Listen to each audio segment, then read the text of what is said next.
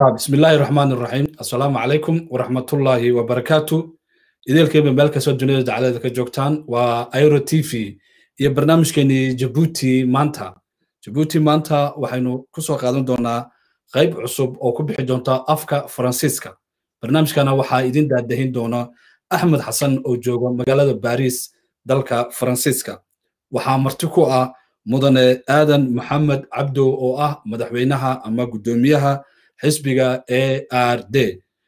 Axmed barnaamijka adigaa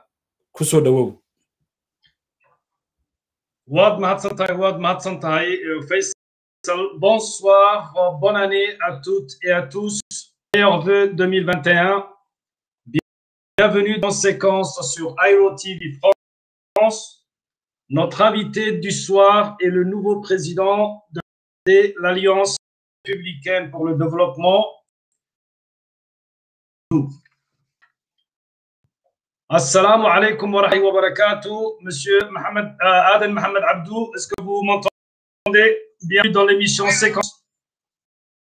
Wa alaikum salam. Merci de m'avoir invité. C'est nous qui vous invitons. Donc, euh, nous allons partager euh, plusieurs sujets politiques avec notre invité tout au long de cette émission. Vos questions, les questions de la rue djiboutienne en fin de Tout d'abord, Aden Abdou, pouvez-vous vous présenter à nos auditeurs, nous parler brièvement de votre parcours en général? Question, Monsieur Aden Abdou, qui êtes-vous? Euh, euh, J'ai été je suis syndicaliste aussi, en politique. Euh, je suis membre fondateur de l'ARD avec Ahmed, Ahmed Youssouf et plusieurs euh, camarades. Euh, lorsque l'ARD a été créé secrétaire général présidence d'Ahmed Allah après, lorsque Ahmed Youssouf à sa mort a pris le flambeau, j'en suis devenu le premier vice-président. Jusqu'à sa mort, j'ai été le premier vice-président. Euh, et à la mort de Ahmed Youssouf Ahmed, Allah yarhamou, je suis devenu président par intérim de l'ARD. Donc, euh, euh, on a fondé tout de suite après 2018 Nous allons y venir. Nous allons y venir. Il y aura d'autres questions, justement. C'était vraiment une brève introduction. Nous continuons l'émission. La deuxième, vous êtes officiellement comme de l'ARD après une période de transition suite au décès de votre prédécesseur, son ex, euh, Monsieur euh, Youssouf, paix à son âme. Durant ah. cette période de transition de l'extérieur, l'ARD semblait vivre de troubles internes.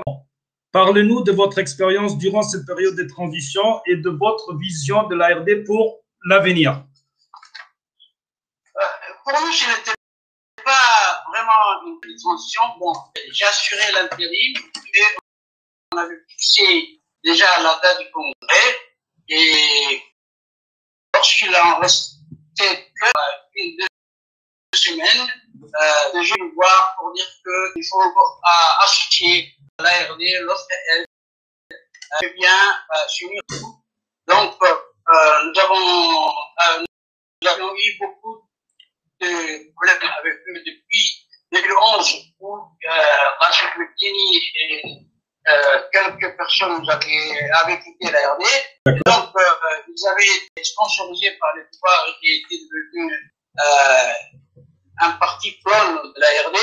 Et donc, euh, lorsque euh, les pouvoirs a terminé ce ils étaient comme euh, donc une serviette et galéré et donc ils ont demandé à ce que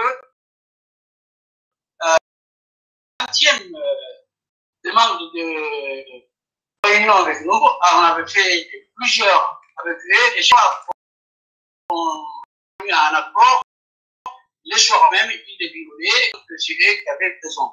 Donc, euh, on pas accepté inextrêmement et on avait créé un autre pendant l'avènement du congrès. Mais malheureusement, nous a pris euh, et à l'issue de ces deux ans, lorsqu'on a fait le congrès, on a voulu respecter euh, le statut de l'ARD. Ils ont voulu imposer un, candidat, euh, histoire euh, de me mettre à l'écart et de mettre et ce candidat euh, qu'il proposait, c'était Kassim Alidi. Kassim Alidi, il leur a dit, il faut que euh, vous respectiez le statut de la RD qui stipule en son article 18 que les candidatures peuvent être multiples et donc on ne peut pas imposer à un parti démocratique donc une candidature. Donc, ils n'ont pas voulu nous entendre, ils ont commencé à critiquer les partis euh, sur le net, et donc, en insulter personnellement et insulter tous les autres dirigeants. Et euh, lorsque le problème n'a pas passé, euh, nous avons le Conseil national de la RD euh, qui a sa décision à l'unanimité avec euh, le sieur Kassim Amedini et euh, l'État euh, que lui disait qu'il était président, alors que disait qu'il avait passé la main à l'État à d'un congrès, mais ces congrès, il y en avait que 10 personnes. Et même lorsque j'ai ça au pouvoir, au ministère de l'air sponsorisé, ils ont eu honte de les intérimer et ils ont porté plainte. Je crois qu'aujourd'hui, euh, lorsque nous, nous avons fait notre congrès, lorsque euh, nous avons fait notre congrès qui s'est très bien passé, euh, peut-être que les pouvoirs veulent les, euh, les actionner à nouveau ils parlent qu'ils ont, ils vont avoir. Mais nous avons fait notre congrès avec Rigo. Et donc, euh, depuis qu'ils avaient quitté, euh, l'ARD a repris euh, ses couleurs. Et donc, toutes les fédérations qui, à cause de ces problèmes-là, et comme euh, nous avions fait le congrès dans notre siège, nous n'avions pas, pas plus de 150 places, voire 200 et donc, on a limité les membres de euh, congressistes euh, chaque fédération. Il est passé, euh, nous, avons, fait notre congrès et à l'issue congrès, j'ai été élu troisième président de l'AFP. Très bien. Euh, merci beaucoup de nous avoir de votre expérience durant euh, ces périodes. Quelle est votre vision actuelle pour la RD et pour son futur. En tant que président. euh, Pour le futur, nous avons fait euh, le congrès a adopté de nouvelles perspectives d'avenir, parmi lesquelles il y a euh, que l'ARD doit devenir désormais euh, une entité nationale et pour cela s'ouvrir à toutes les communautés euh, djiboutiennes et donc euh, même en Europe aussi, euh, diversifier euh, les structures de partis et ouvrir des représentations dans les États, dans les régions et dans les villes aussi, pour que les puissent euh, retrouver euh, qu'il faut bien continuer. Euh, à part ça, nous avons aussi concernant les élections, euh, nous avons dit que nous n'avions pas y participer et que nous contre le cinquième mandat, non seulement contre le cinquième mandat. Nous, allons y venir, euh, Monsieur Aben Abdou. Pardonnez-moi de vous interrompre sur la présidence. Euh, autre question. Il reproché aux politiques de ne pas donner chapitre à la jeunesse. Quelle est la situation actuelle au sein de votre parti? Allez-vous rajeunir la future direction de l'ARD Vous savez, dans la vie de l'ARD, il y avait presque euh, plus d'un tiers, voire euh, la moitié, c'était des jeunes, et des femmes jeunes. Et maintenant, nous allons euh, faire encore beaucoup plus de jeunes dans la direction de l'ARD, et vous allez voir, euh, vous allez voir la liste congrès du Conseil national. Le Conseil national va élire aussi le comité exécutif, même aussi élira le bureau politique. Donc, euh, je vous rassure, il y aura beaucoup de jeunes et le comité sera réjoui. Très bien, très bien. Comme nous le savons tous, après électoral, l'élection présidentielle est prévue pour le mois d'avril, donc euh, dans moins de trois mois. Le président, M. Ismaël Omar Guelleh, a été hier officiellement euh, porté candidat à sa propre succession. Qu'en dites-vous euh,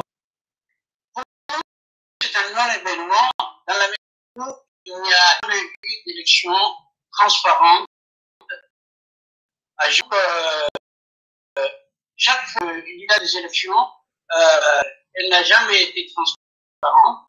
Et nous, euh, nous avions boycotté depuis les élections législatives de 2003.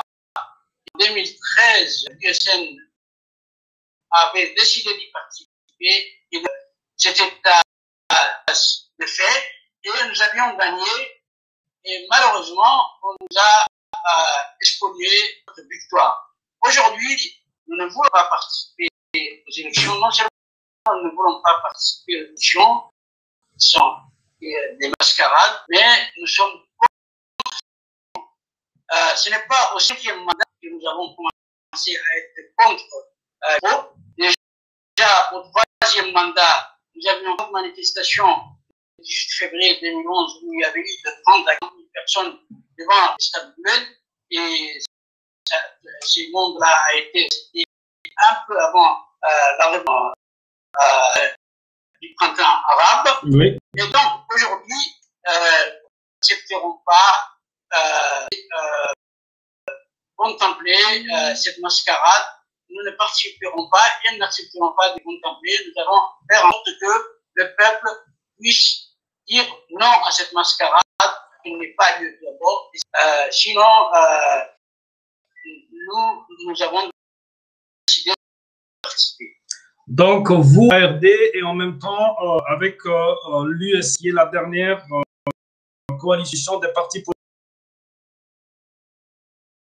Voilà. Y compris l'USN et l'ARD, l'USN aussi, les membres euh, des partis qui composent l'USN ne participeront pas. Très bien. Nous poursuivons notre émission.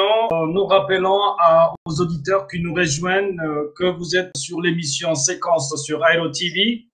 Notre invité du soir est le président de l'ARD, euh, Monsieur Mohamed Abdou. Euh, nous passons à la question suivante et elle concerne la société civile. Aujourd'hui, à l'intérieur comme de la société civile a joué pleinement son rôle dans cette année électorale. Quel accueil en tant que politique de l'opposition lui réservez-vous? Je ne sais pas euh, euh, la société civile, je mais à l'intérieur, la société civile est très faible. Les associations qui existent sont des organisations sponsorisées par le régime, participent souvent euh, aux côtés du pouvoir, aux côtés élections, euh, que ce soit législative ou présidentielle. Donc, nous ne voyons pour l'instant une société civile indépendante, engagée, euh, euh, le peuple peut compter, sur lequel nous compter. Mais si jamais il s'avère qu'il y a une société civile qui est prête à avec nous à la situation qui prévaut, nous sommes partants avec eux, donc euh, nous allons travailler main dans la main. Très bien, très bien. Nous, allons parler maintenant de, la notion de transition. Il y a deux idées euh, qui s'affrontent d'une manière générale qui disent qu'une possible transition ne pourra être que civile. Et il y a les euh, qui ne sont pas d'accord définition de la notion de transition. Quelle est, vous, monsieur Aden Abdou, votre perception de cette notion de transition? Si transition il y a. Si transition il y a, bien sûr, politique. Donc, je crois que euh, la transition, c'est par les politiques, la société, c'est ce qu'on a vu dans le monde entier, ne sont pas des partis politiques, qui ont renversé en Tunisie, en Égypte, au Soudan. Mais cette, société civile a été accompagnée euh, par les partis d'opposition qui a guidé ce mouvement. Je vous dis, ce sera pareil, mais euh, laisser euh, la politique à la seule société civile, je crois que c'est risqué, d'autant plus que le pouvoir essaie d'instrumentaliser euh, toutes sortes, qu'il soit de la société civile ou qu'il soit des partis politiques. Donc nous, nous avons l'expérience avec ces pouvoirs, mais la société civile aujourd'hui euh, se mettre euh, devant n'a pas d'expérience et donc je leur conseille de faire transition euh, de pair avec les partis politiques, sinon je crois que euh, même si le peuple a le rappel, je crois qu'ils ne pourront pas euh, l'amener à bon port. Donc, nous sommes des les partis politiques sont déjà sur le terrain. Vous voyez déjà que les partis politiques essayent euh, de manifester.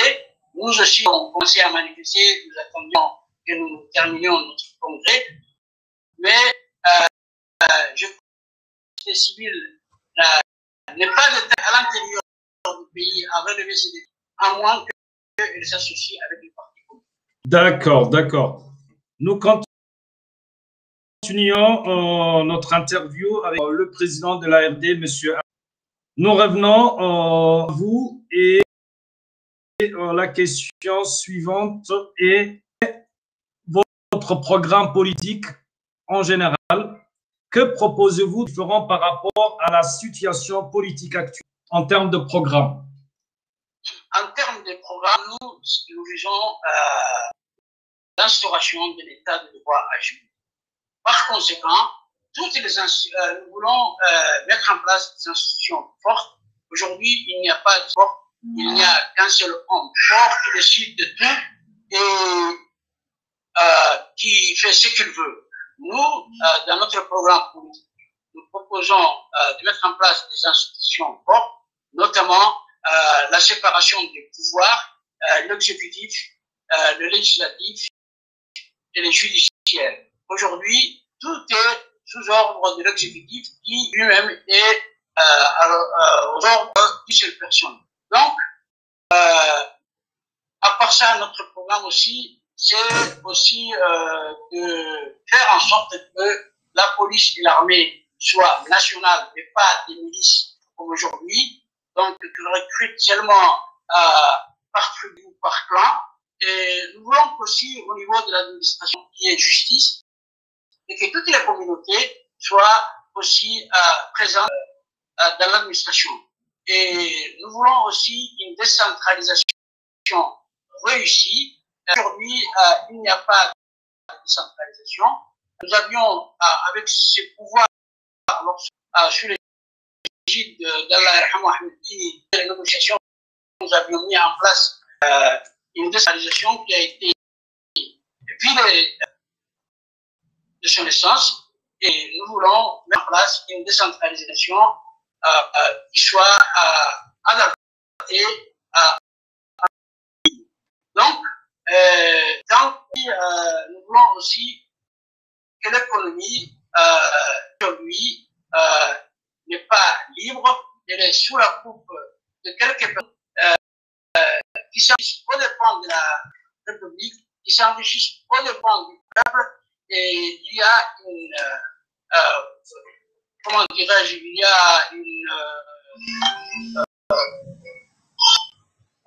donc, je veux dire euh, qu'il y a la corruption, voilà, la corruption euh, ambiante et la corruption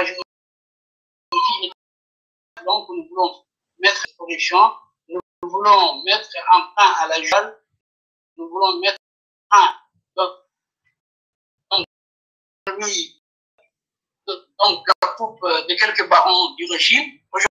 La République de Djibouti, c'est à la ville de Djibouti et euh, pas seulement la ville de Djibouti, c'est un cité-État, mais euh, nous voulons qu'avec la décentralisation, euh, non seulement soit délégué aux régions, mais aussi sur le plan économique, parce que dis, depuis 1963, centralisé à Djibouti, et tout ce qui revient au pays entier est concentré à Djibouti, déconcentré. C'est pourquoi, sur le plan économique, aussi une décentralisation. Et le programme, donc, je ne peux pas euh, citer euh, exhaustivement tous les programmes, mais nous voulons aussi restaurer l'autorité de l'État. Aujourd'hui, l'État, l'autorité de l'État n'existe pas. Il existe l'autorité d'un seul homme.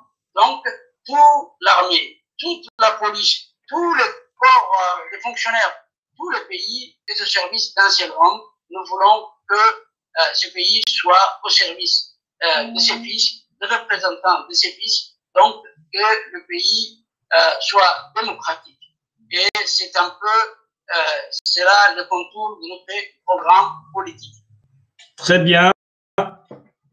Nous arrivons, nous sommes pas loin de la fin de l'émission. Euh, comme le format de, l'émission séquence euh, a été conçu avant de passer aux questions de nos compatriotes, aux questions euh, de la rue djiboutienne, nous vous posons une dernière question. Imaginons, vous, monsieur Aden Mohamed Abdou, demain, vous êtes président de la République.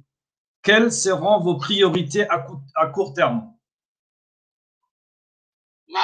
Priorité à court terme sera de restaurer tout d'abord l'autorité de l'État et ensuite euh, de mettre un frein à, donc, euh, à tous ces gaspillages euh, de deniers et donc euh, aussi rapatrier tous les fonds qui ont été volés à l'extérieur et à l'intérieur, donc restaurer aussi les biens de l'État comme ils étaient avant. Aujourd'hui, tout a été dilapidé, donc les deniers publics sont dilapidés, donc les biens de l'État aussi sont là entre euh, barons du régime et leurs complices. Et la première mesure que nous allons prendre, c'est de restaurer l'autorité de l'État et faire en sorte que les forces de, les forces de l'armée et les forces de la gendarmerie soient au service du peuple, soient au service de l'État, mais au service des euh, individus. Donc, il ne faut pas qu'ils soient, comme aujourd'hui, considérés comme des milices. Et ce sera euh, la première chose que nous allons mettre en place. Parce que si euh, l'autorité de l'État n'est pas restaurée et que les gens ne fonctionnent pas correctement, on ne peut pas parler d'un État de droit. Et donc, pour pouvoir instaurer un État de droit, il faut restaurer l'autorité de l'État et donner au peuple ce qui lui est. Nous passons, merci beaucoup, nous passons maintenant euh, aux questions de la rue euh, que nos compatriotes nous ont transmis qu'on vous les soumette. La question euh, est la suivante. Pourquoi n'est-il pas possible de venir à la RTD Pourquoi il n'y a pas de débat entre, par exemple, l'opposition et les forces du régime à, la TV nationale, la RTD Voilà la question. Euh, parce que euh, la RTD n'est pas un service public. C'est un donc c'est un euh, service partisan, c'est une télévision partisane qui sont aux ordres du RPP et de son président. Donc, l'opposition est interdite, même lorsque nous avions à l'USN euh, fait négociations euh, avec le gouvernement, ces problèmes-là, euh, et nous n'avons pas pu avoir gain de cause là-dessus. C'est pourquoi certaines négociations que nous avions entamées avec le régime ont été à l'échec. Donc, nous ne pouvons pas, parce que c'est interdit, et on ne, peut, nous embête pas. Non seulement on, ne peut pas faire un débat, mais même notre communauté bien.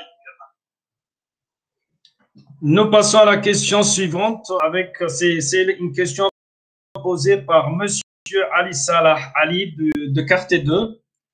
Et la suivante. Est-ce qu'il est qu'il ne serait pas temps de renoncer à toutes ces structures tribale dite de l'opposition et a appelé à la création d'un grand politique de l'opposition. L'ARD a-t-il les épaules pour Bien sûr, dans notre congrès, ce que nous avons décidé, c'est que l'ARD doit davantage être représentatif de la population. Déjà, bon, elle regroupe l'ARD, euh, donc il y a presque tous les apparts de toutes les régions, il y a Somalie à l'intérieur de l'ARD, même s'ils ne sont pas très nombreux, et il y a des mais nous voulons renforcer cela, nous voulons que l'ARD ait euh, une organisation nationale, pas comme le RPP, parce que là, euh, vous voyez que euh, toutes les communautés se retrouvent dans euh, des alibis euh, politiques du gouvernement, des gens qui sont censés représenter la communauté, mais qui en fait euh, sont les serviteurs d'anciens hommes. Donc les partis politiques, c'est eux qui vont répondre, je ne vais pas répondre à leur place, mais l'ARD est prête à, à cela. Très bien, nous poursuivons. Et puis, il y a cette question. 43 ans que l'on peine à faire advenir une alternance. Est-ce que l'obstacle ne serait pas d'abord en vous? Vous savez, c'est possible que l'obstacle, ce soit nous, mais euh, nous, euh, moi, chaque fois que euh, que l'opposition n'a pas pu atteindre ses objectifs, euh, dans le monde, lorsqu'on voit euh, l'ex des régions dans le monde, c'est toujours le peuple qui se soulève. Jamais l'opposition n'a euh, participé ou fait soulever, euh, euh, accomplir un soulèvement populaire. Lorsque le peuple s'élève, donc l'opposition est prête à les guider et à euh, les accompagner. Nous, euh, nous avons euh, eu cette opportunité tout d'abord lors des élections euh, de 1999, lorsqu'Ismaël Mad a son premier mandat avec Moussa Ahmedis. Et là, le peuple nous a suivis et ils ont voté massivement pour Moussa Ahmedis. Et malheureusement, il a été spolié et c'est par la force que le président actuel a été soi-disant élu. Et donc, le peuple, lorsqu'on lui vole sa victoire, il y a toujours euh, des frustrations. Et donc, euh, il y a des problèmes. Ensuite, en 2003, ça a été pareil de législative de. D'accord. Le peuple se soulevait comme un seul homme derrière l'opposition.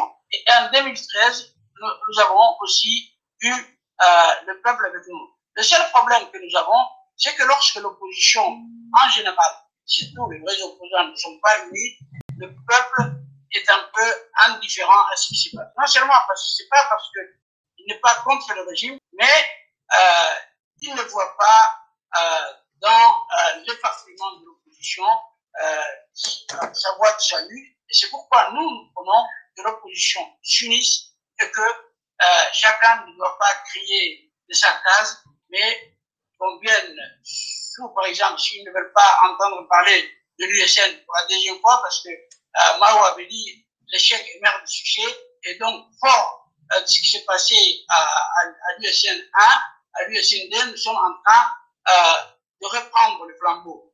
Mais si le patient, on peut changer de nom, et donc tous les partis politiques euh, de l'opposition, je, je parle des, partis véritablement opposés, pas des partis sponsorisés et qui se réclament de l'opposition pour brouiller le peuple. Donc si nous parvenons à travailler ensemble, être ensemble, le peuple sera au rendez-vous et même si euh, on, ne gagne pas à, à tous les coups, peut-être que fois sera bon. Merci, merci Aden Mohamed Abd de nous avoir donné cette interview. L'émission arrive. Est-ce que, enfin, nous vous disons dernier mot? Votre mot de la fin. Les mots, euh, comme toujours en pareil cas, lorsqu'on me donne à à la fin de l'interview la parole. Oui. Je réclame et j'appelle de tout me voeux une opposition pour que le peuple se retrouve dans cette opposition. Aujourd'hui, du nord au sud, nous avons des militants à, à l'ARD, nous avons des gens qui vont nous suivre, nous allons déjà commencer à sortir dans la rue, mais lorsque nous serons tous ensemble, c'est tout le peuple du nord au sud, d'Alissébié à Tadjoura, euh, à Dikil, et donc euh, des villages les plus reculés de Moulplé à Assamo, tout le monde vont euh, être au rang de l'histoire. Donc, j'appelle à l'unité de l'eau et euh, de laisser de côté euh, le problème d'ego, parce que la priorité est aujourd'hui de casser ces murs euh, dictature. Une fois que ce mur sera cassé, c'est le peuple qui va choisir qui sera euh, le chef ou le prochain président dans le pays. Mais tant que nous serons dans cette situation, que nous soyons chacun de son côté ou ensemble, euh, nous aurons à combattre ce mur et ce mur nous pouvons le casser qu'étant unis et en unifiant nos actions. Donc, c'est ça mon dernier mot. Merci beaucoup, merci beaucoup. C'était Monsieur Aden Mohamed Abdou, le président de l'ARD. L'émission séquence arrive à sa fin. Nous vous remercions, Monsieur Aden Abdou, et nous vous disons à très, très, très bientôt. Ok, merci, je vous remercie. C'est moi qui vous remercie. Euh, merci, Charles. Bonne, année et meilleurs vœux. Bonne et heureuse année. Merci, c'était Monsieur Aden Mohamed Abdou. L'émission séquence vient de se terminer. Nous précisons à l'ensemble des Djiboutiens que l'émission séquence est ouverte à tout le monde, que ce soit des personnalités politiques de l'opposition ou du gouvernement, mais surtout, nous sommes également preneurs de toute personnalité issue de la société civile. Ici, séquence sur Aero TV France. Nous vous remercions de nous avoir suivis et nous vous disons à très très bientôt. Assalamu alaikum wa rahmatullahi wa barakatuh.